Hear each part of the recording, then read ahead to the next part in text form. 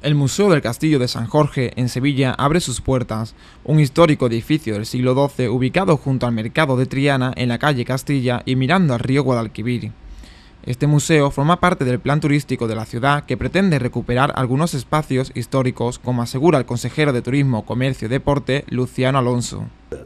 Pero una enorme capacidad de respuesta a los cambios de preferencias que eligen los turistas y una apuesta decidida por nuevos productos y experiencias innovadoras que lo hagan volver y los conviertan en los mejores embajadores de nuestro destino.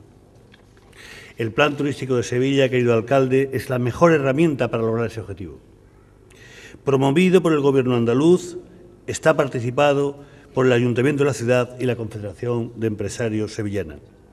Cuenta con una inversión de 22 millones de euros y supone la adopción de una nueva cultura de planificación turística sobre el espacio urbano para optimizar aprovechamientos de los recursos y sumar nuevos focos de atracción que consoliden y aumenten la demanda. Sevilla recupera, con la apertura de la antigua sede de la Inquisición, parte de su historia más cruel. Un histórico edificio que supone una inversión de 2,5 millones de euros y que incentivará el turismo en el barrio de Triana, como señala el alcalde hispalense Alfredo Sánchez Monteserí.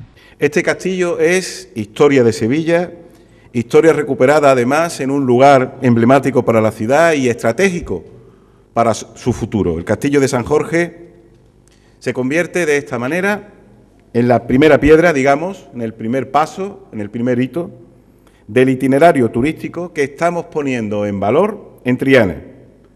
Dicho de otra manera, una excusa, una gran excusa para que quienes nos visitan crucen el río y puedan disfrutar a partir de aquí de todo lo que encierra este barrio de Triana.